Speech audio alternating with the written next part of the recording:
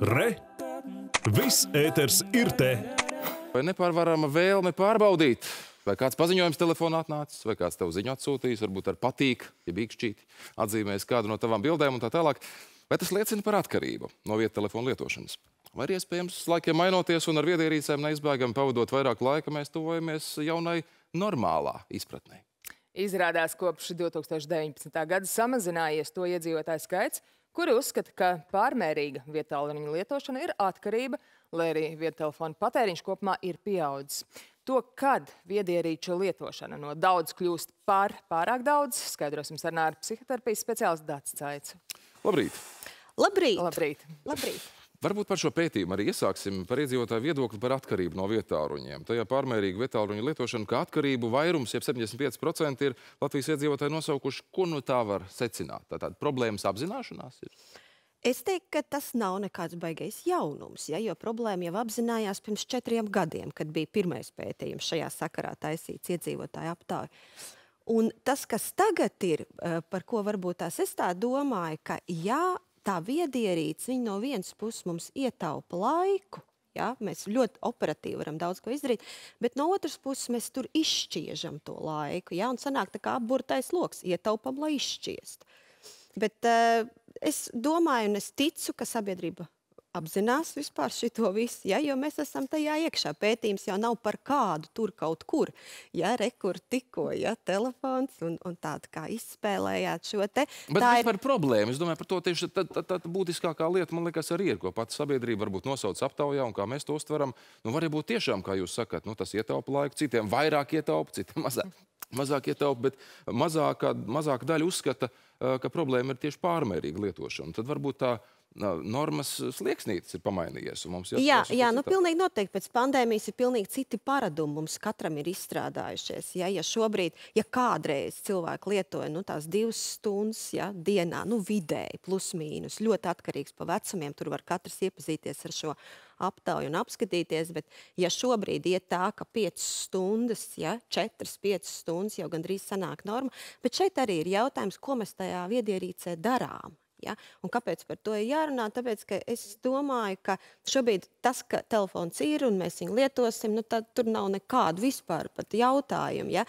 Jautājums ir, ko mēs tur darām un kā mēs lietojam. Ja? Un šajā sakarā es um, gribu teikt, ka ir jārunā par tādu lietošanas kultūru, jo mēs to nevaram iemācīties no saviem senčiem, jo viņiem vienkārši tāda tādas etiķetes viņiem nav. Ja?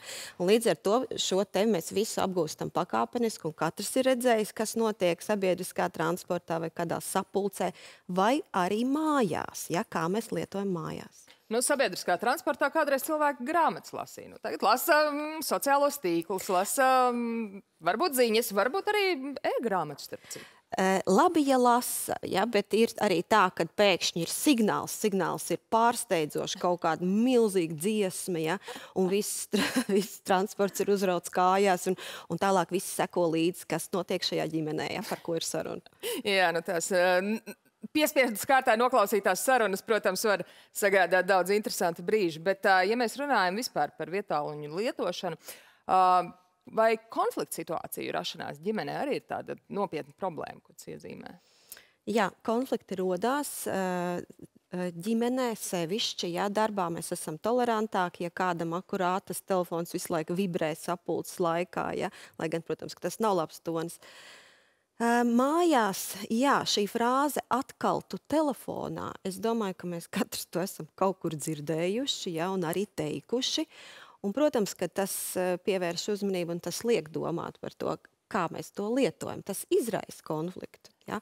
Un, un konflikts tā ir pirmā, nu, tāda viena no tādām trauksmes, varbūt tās trauksmes momentiem, ka iespējams ir par daudz. Reiz vien man ir sanācis pašai redzēt um, kādās um, sabiedriskās ēdināšanas vietās pārīšus, gados jaunus, uh, pavisam pusauģus vēl uh, šķietami varbūt iespējams pirmais randiņš, ne pirmais, bet uh, Viņi abi sēž katrs savā telefonā, un viņi pat īsti nerunā savā starpā. Rodas jautājums, kāpēc tad uz randiņu iet? Nu, mēs jau te varētu brīnīties. Tādu piemēru ir daudz, ja, un ja te būtu tie pusauģi, viņi pateikt, ka mēs esam veci muļķi. Ja. Mainās, mainās šī viedierīču lietošanas kultūra. Nu, tā veidojas, ja, bet mūsu paradumi mainās. Un tas, ka mēs kļūstam at tādi tālāki, ja, varbūt svešāki, runājam mazāk. No vienas puses par to var uztraukties, no otras puses var domāt, diez, kas notikt, ja, ja tajā ģimenē pēkšņi noliktu nost tos tālruņus, ja, un sāktu sarunāties. Nemaz jau nevar zināt, ja, kas, kas ir labāk, vai anestezēties tajos tālruņos, ja, vai sākt runāt un par ko tad runāt šie cilvēki. Ja. Bet kā šajā kontekstā jūs atkarību definētu? Kad tā pazīme, signāla lampiņa par bīstamību parādās? Jo viens varbūt lieto tās piecas stundas un nu, absolūti nejūtas atkarīgs. Viņš var pārtraukt un tad nevajadzēs nelietos. Kā cits varbūt ar mazāku viedierīcē veltītā laika apjomu tomēr ir nu, tādā tā kā vadzī un atkarības vadzī arī jau. Nu, Jā, jā, pilnīgi noteikti. Es uh, atkarību šeit negribētu tā, nu, tā kā skandināt, ja tā ir mūsu ikdiena. Bet uh, es gribētu pievērst uzmanību tam, ja cilvēkam neizdodas pašam kontrolēt to lietošanu, nu tā tad uz miega rēķina, uz attiecību rēķina, uz samazinās intereses, ja, cieš citas kaut kādas sfēras dzīvē, nu tas ir signāls, ja, tas ir signāls nopietni aizdomāties. Tātad šeit ir saruna par tādu balansu mūsu dzīvē. Ja? Vai, vai mēs kaut ko vēl darām, ko mēs darām. Ja? Šīs ir visas lietas, ko mēs esam daudzreiz runājuši, un, un redzējuši un lasījuši. Un šajā sakarā es arī aicinu mūsu pašus ielūkoties etiķetē, ja? viedtāluņu lietošanas etiķetē, kas šobrīd ir visiem pieejama. Ja mēs iegūlēsim, mēs viņu ieraudzīsim.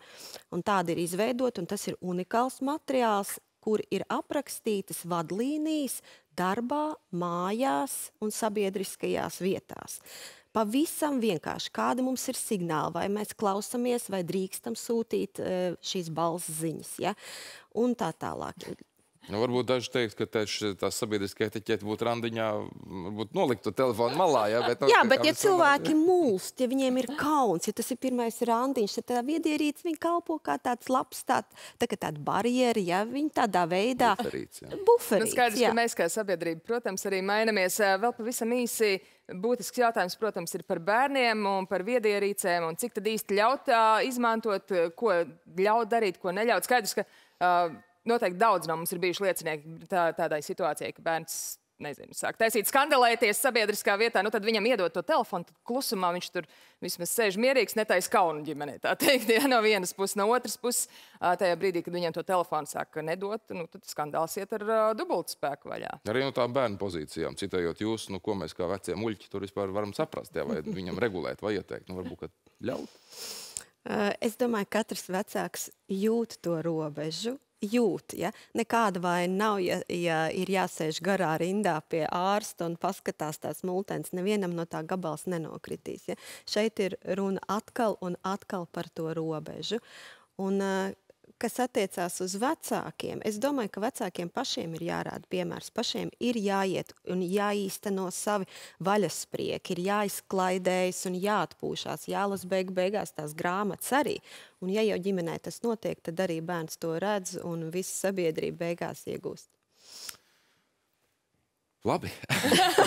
lai šie padomi, es aizdomājos, jā, lai šie padomi tiešām sasniedz eh, dzirdīgās ausis un eh, nu, raudzīsim, lai mm, kontrolējam mēs tās ierīces, nevis tās kontrolē mūs. Tas būtu noteikti arī tas galvenais vadmotīvs, kas no šī visa jāizgūst. Paldies, ka atnācāt šodien. Paldies!